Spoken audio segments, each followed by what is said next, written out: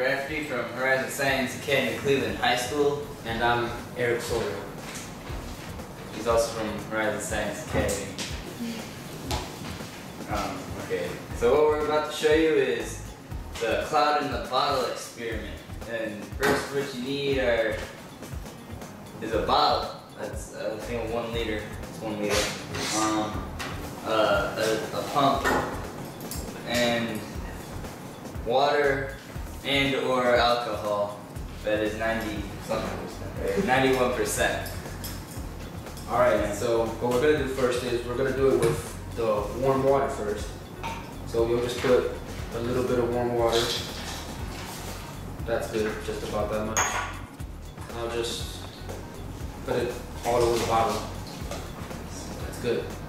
So now we're gonna take this air pump here and put it in the bottle and just hold it in place And then we're gonna pump this five times. five times that first Yeah. time.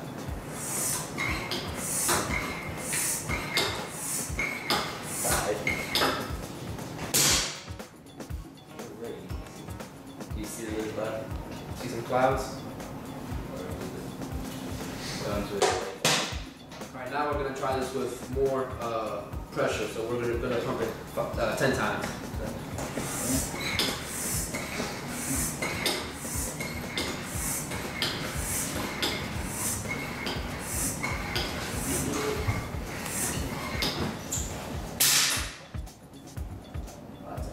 See, there's a bit, a, a little bit more clouds than the first time.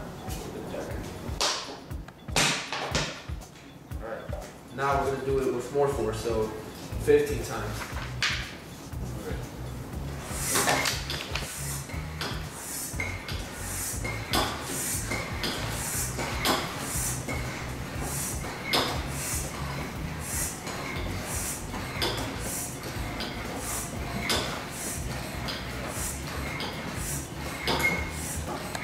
You got a 15. Well, it would have been, in, alright, let's just redo it.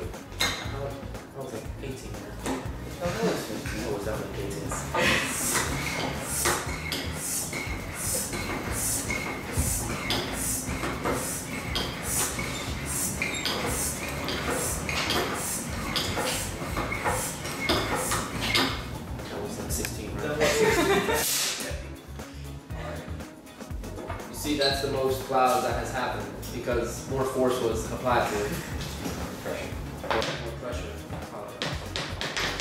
Alright, now let's try out. Let's try with some rubbing alcohol. I'll just do the same thing, just a little bit of alcohol. That's good. Now just make sure that alcohol touches everywhere in the bottle. Alright, that's good. Alright, now we're, now we're gonna do the same steps. So, you know, first five times, then 10, then 15.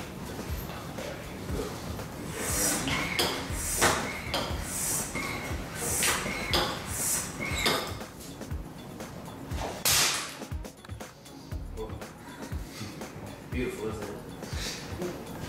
Alright, That's way better try this 10 times. Now, as you can see, uh, the clouds sort of disappeared. That's because the pump is kind of making it uh, condense and making it seem um, invisible, basically.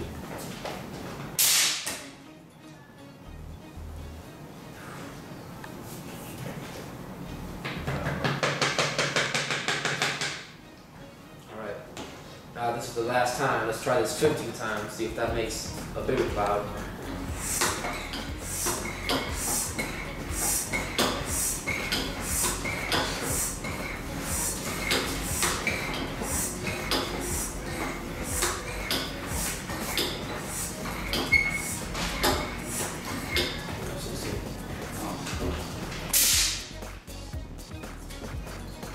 That was a little bit less because I kind of took out the pump way too slow, but it would have made more clouds.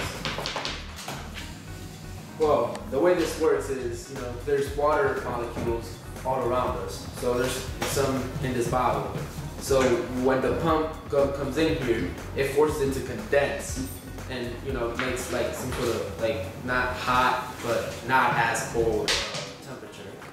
So then, uh, so then when we take the pump out, the water mo- uh, molecules uh, rapidly expand and form this cloud looking thing.